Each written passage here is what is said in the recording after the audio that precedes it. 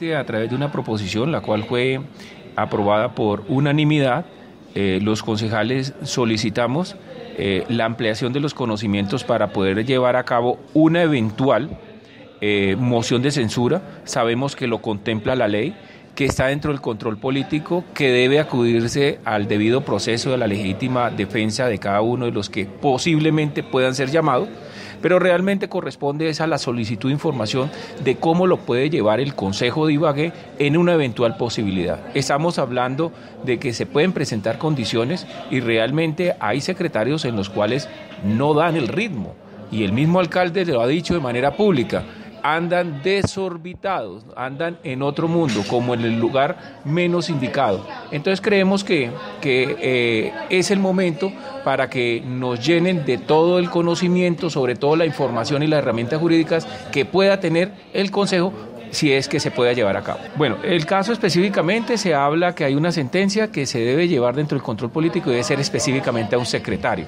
Se debe llevar cuando no cumple con el plan de acción, cuando no entrega los informes, cuando rechaza las citaciones al Consejo y eso se ha venido presentando. Lo que pasa es que el Consejo no ha hecho eh, uso de esta herramienta y sabemos que si lo contempla la ley también es difícil llevarlo porque son dos terceras partes, es decir, tendría que ser con 13 votos. Pero realmente es una herramienta y es una herramienta que si se debe poner en práctica, pues hay que ponerla. La evidencia es que debe ser retirado el cargo por parte del señor alcalde.